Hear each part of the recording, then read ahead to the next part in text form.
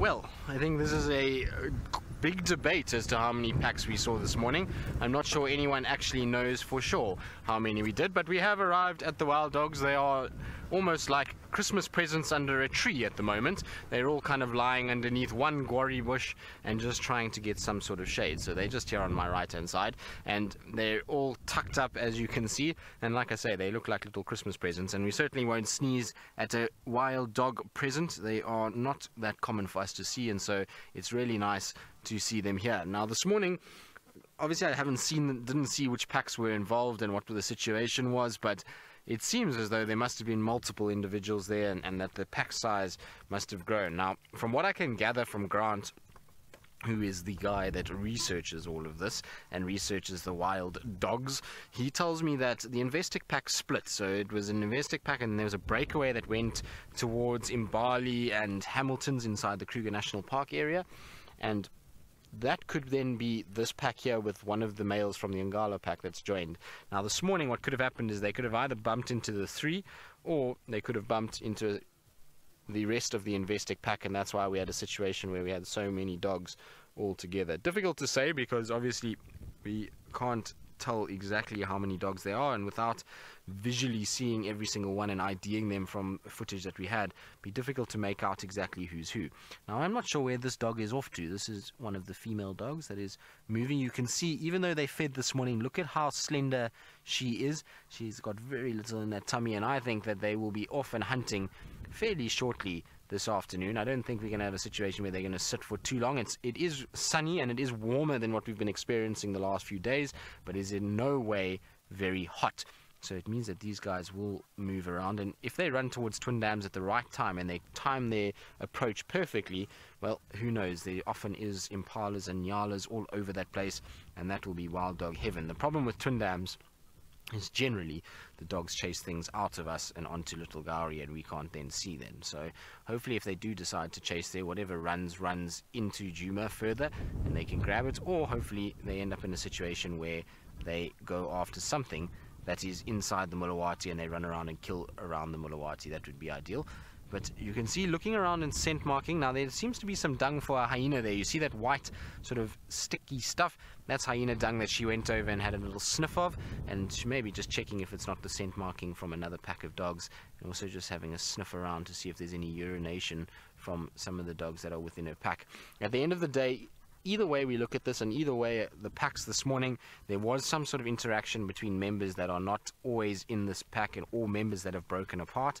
And that's why you'll find that they'll be very interested in sniffing around. And the behavior that we saw the other day is because males like this collared male that have arrived from the Ngala pack have basically caused an absolute stir and have made a situation where these wild dogs are not 100% sure what's going on, and, and the males are all trying to force themselves onto females. I don't think there's an alpha pair yet that is formed within this pack, and so that's maybe why everybody is just kind of a little bit sort of checking each other out, and there's this awkward mating phase that's going through the well happening, not going through at the moment, but happening to them at the moment. Here comes another one of the females. She's also coming out now. And they are looking absolutely beautiful in this sunshine.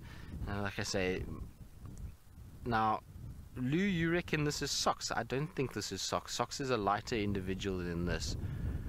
I'm pretty sure Socks was the one that was more caramel colored over the body. I might be wrong, but I'll check and see a little bit later. It could be her. Let's see. I'm sure she had more caramel coloration on her than that, but uh, like I say, could be wrong. Now, we're talking about an individual wild dog. If for those of you that don't know what we're on about and why we're calling it socks, is because we had the pack a few weeks, few days ago, uh, not weeks ago, and um, it, there's an individual that has very, very white socks and is quite a light coloration. And we were commenting about how Senzo would be jealous about the socks that that wild dog had, and so we decided to name her socks. And she must be around here somewhere. It is the right pack for her to be in. So if that's not her, then she is here. But maybe Lou, you are right. I'm not 100% sure. We'll have to wait for all of them to come filing past us to make 100% sure. But you see how females will often lie together. This one's getting too hot now in the sun. She's decided, mm -mm, I'm going to go and lie in the shade instead. Not going to deal with this hot sunshine. It's going to be far better. No, not that side of the bush, this side of the bush.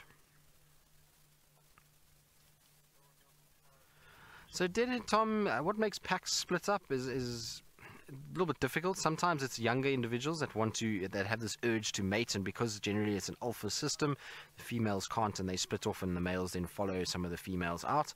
So that's sometimes it. Sometimes it's to do with the fact that the pack's getting too large and it's not finding enough food to sustain everybody, so everyone pushes off. But given that this pack splits around the denning season, I think there's more a situation that this was all to do with these guys and breeding and reproduction because most of the dogs in this particular grouping, bar that male that is collared, are all fairly young dogs. These are all dogs that are not very old at all. They're dogs that have spent, looks like, a little bit of time together and they all look fairly young. Ears are not tatty in any way. Coats are really kind of even and, and there's no visible signs of aging on many of them. They all look as though they're a lot younger. Now, I see one or two of them are yawning, which is great news it means that hopefully these guys are going to start getting up. And listen you can hear them squeaking.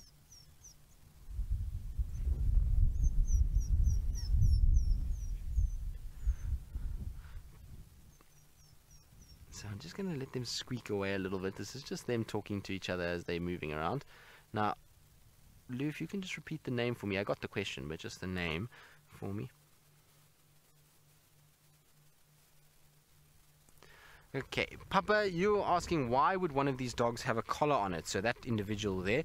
Well, there's a big research project on at the moment, which is to study distemper and rabies and the treatment thereof to protect wild dogs. Wild dogs, unfortunately, their numbers are declining quite rapidly, and so these collars are on to try and help these dogs and to try and see if they can monitor them and give them top ups in regards to their vaccinations to try and see if they can eliminate the distemper and rabies virus from dogs and prevent them from getting it. It's one of the biggest threat to wild dogs in this Kruger Park system, and so that is why the collar's on. It's a two year project, and they will constantly look for the collars, find the pack, then top them up. The problem is this particular individual has come away from a different pack. And actually, funny enough, this individual dog, which I didn't realize the first time we saw him the other day, is a dog that I collared with Grant a few months ago. So I was with Grant when we went and collared these dogs, and I actually physically touched that dog, which is quite strange. It's really odd to see an animal that you physically touched. But that was a collar that I put on with Grant together, um, and we did the, the vaccinations and everything. And quite, it was quite funny because this particular pack was a pack that we really had no hope of finding. Grant phoned me up one day while I was on leave and he says to me, you know, I'm going to go try and find some wild dogs. Apparently they were seen somewhere, but I'm not 100% sure. The information was not very reliable. Do you want to come with me? So I was like, why not? I might as well go do it. Ali was here and working and I was by myself in, eh, at home and so I thought I'll just go with Grant for the day. So we went off and we decided we'd look around. We couldn't find any sign of the dogs on any of the tourist roads and we got permission then to drive a boundary road which is the only road in a area that is about four times the size of the entire Sabi Sands, including Mala Mala. So we're talking about a massive tract of land with one road that goes through it.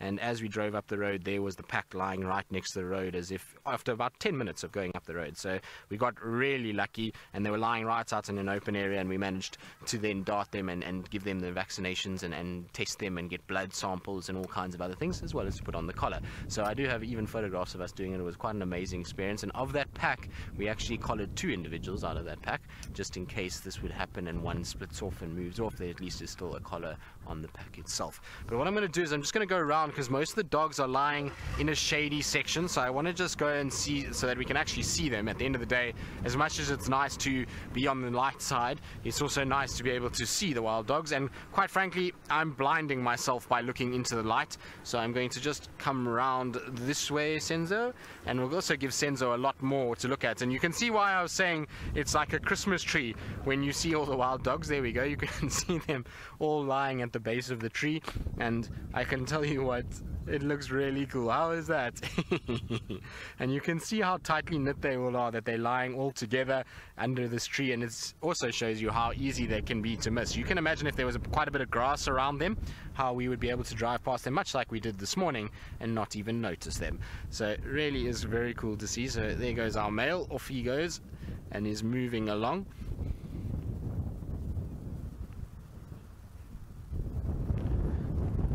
Olivia, this particular pack has been treated for distemper and um, rabies. They weren't treated in the Sabi Sands. Funny enough, they were only they were vaccinated outside in the Kruger National Park when they were at the Kruger area.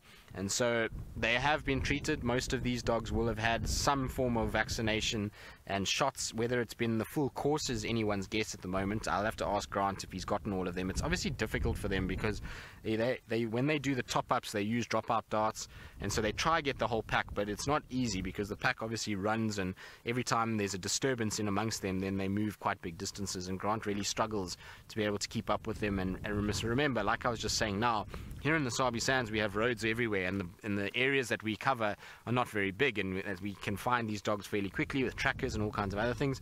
But in the Kruger National Park, some of those blocks, as we call them, are so big that once they go in there, it sometimes can be three, four weeks until they come out again. So Grant has a tough time in following all of the dogs. But yes, this pack, most of these individuals will have had some sort of vaccinations. Whether they work is now the next question. So they've got to monitor and see whether the dogs stay safer and whether or not it still affects them but interesting stuff that's going on and hopefully it will work because at the end of the day we would really want the wild dogs to survive and to sustain themselves and to really be a part of the system for a while longer.